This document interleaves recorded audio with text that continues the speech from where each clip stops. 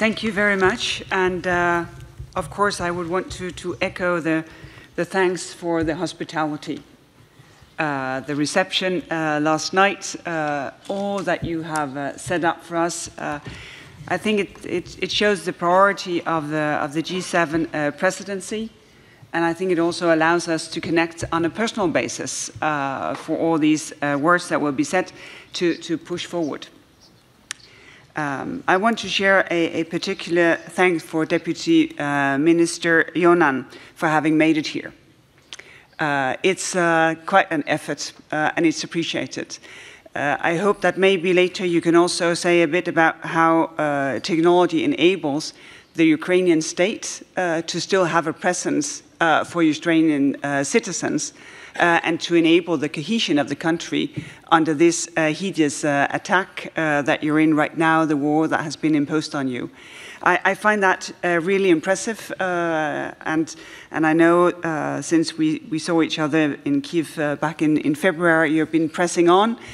Also for the global outreach of the, your solutions. And, and, I want to thank you for that because I think that to a very much, very large degree addresses some of the things that has been raised here already today. On, uh, on the topic uh, of our session, um, it's clear that, that all our societies are disrupted uh, by innovation. Uh, and innovation may be a, a fact of life, uh, but the acceleration that we see right now, I think, make it quite unwelcome for at least some citizens. Uh, if they do not see that there is a political leadership to make sure that we make the best use of it that it's a, a tangible thing that we share the sense of urgency uh, to make sure that we have uh, the necessary guardrails. Uh, I will not add to what has been said uh, about um, technology and, uh, and fighting climate change. I think we are all in that together. But maybe just uh, add that we also need to speed up our efforts on cybersecurity. Um, we have learned uh, the hard ways that our digital economies they are so interconnected that an attack on, on one part, well, uh, that is also an attack on another part uh, because we see how it spreads, uh, not respecting uh, borders. So uh, we think it is, it is really important that we focus on that, that our telecommunications infrastructure is safe, uh, and that we make sure that our values when it comes to protecting of the individual, the integrity, the privacy is also seen when we choose uh, the different uh, vendors uh, in our infrastructure. Uh, we also have an EU-NATO uh, task force working on cybersecurity. They will make the first joint risk assessment in June. Uh, and I think this is, uh, this is absolutely uh, crucial. We are also pushing for um, uh, security in the supply chain and of digital products. As was already mentioned, it is absolutely necessary that we can vouch to citizens that the products, they are uh, safe. Uh, we aim to achieve that within the European Union through the Cyber Resilience, Resilience Act, but it must rely on international standards so that we can coordinate and, and we can make this a, a thing for, for everyone. Uh, we are also having uh, tabled the EU so Cyber Solidarity Act.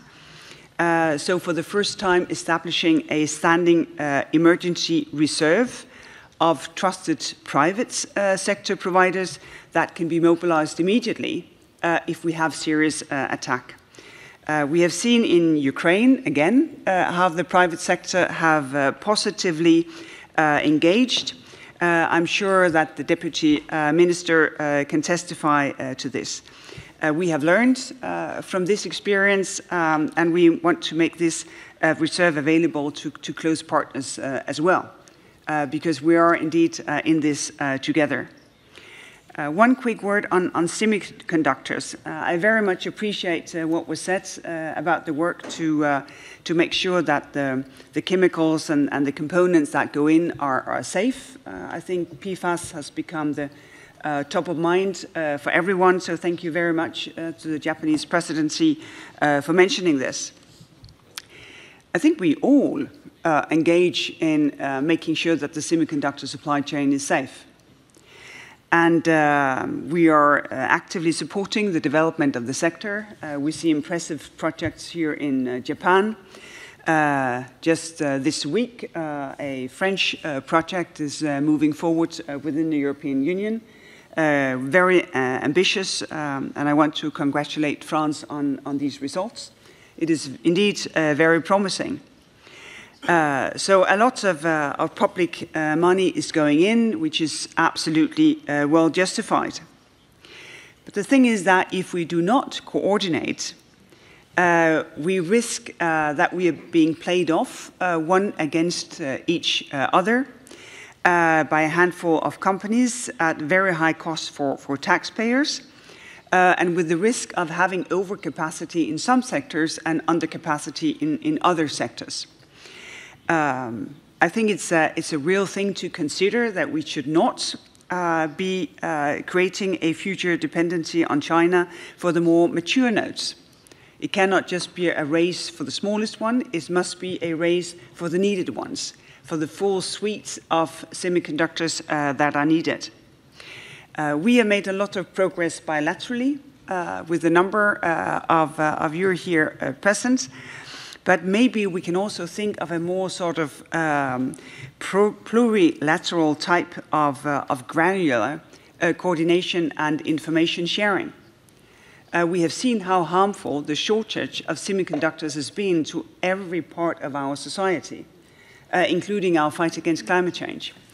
And uh, it would be very important uh, if we could prevent that from happening again uh, within this group, uh, of course, but we could also invite uh, other partners such as uh, Korea, Singapore, uh, Taiwan, uh, to make sure that we help each other out on a rainy day and those days that are even worse. finally, just a word on artificial intelligence. you've all addressed it already.